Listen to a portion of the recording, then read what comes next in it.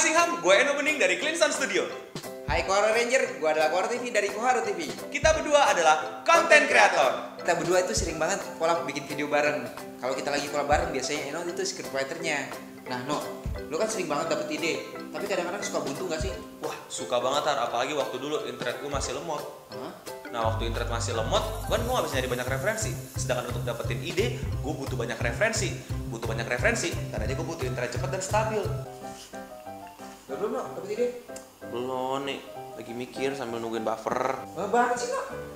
Nih, gue sambil mikir, sambil nungguin bufferan nih, gak kelar-kelar mau cari referensi. Itu kok lama banget. Ya kalau mikir ide tuh pasti lama, Har. Bukan, itu kok buffernya lama banget. Gimana gue tahu namanya juga internet lemot, mau diapain? Udah lo nyari ide apa kayak gitu? Eh, ya udah kita bikin video tentang kita nyari ide buat bikin video. Apaan sih? ya buntu ini nggak bisa bapar. Ah, dulu internet gue belum secepat itu dan belum stabil itu. Oh, terus gimana? Akhirnya gue pakai smartphone 4G LTE. Kalau buffer video tuh cepet, stabil. Jadi gue bisa dapat banyak referensi, dapat banyak ide deh. Jadi syuting apa nih, No? Bentar, cari referensi dulu ya. Oke. Nah, kita bikin kayak gini nih Har. Berantem berantemannya kayak gini. Tapi endingnya kita bikin twist yang kocak.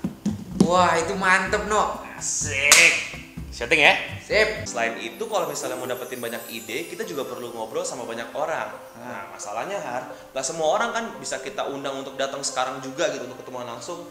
Ya paling-paling telepon lah, SMS lah, WhatsApp lah, tapi kan kayak kurang enak gitu. Iya, gak enak. Jadi kita mesti video call. Oh, video call. Bisa emang ya?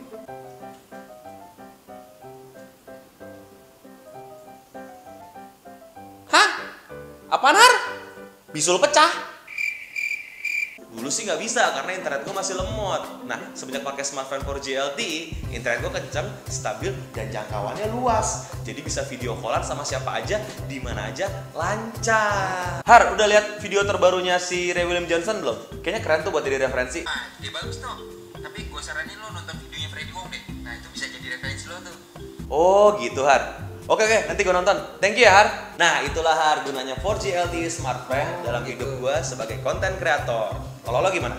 Nah, kalau gue beda lagi, No. Gue kan DOP, gue butuh referensi shoot biasanya, dan itu mesti buffer YouTube.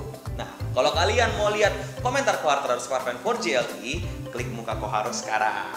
Atau klik channelnya gue, Koaro TV. Sampai jumpa di video berikutnya. Dadah.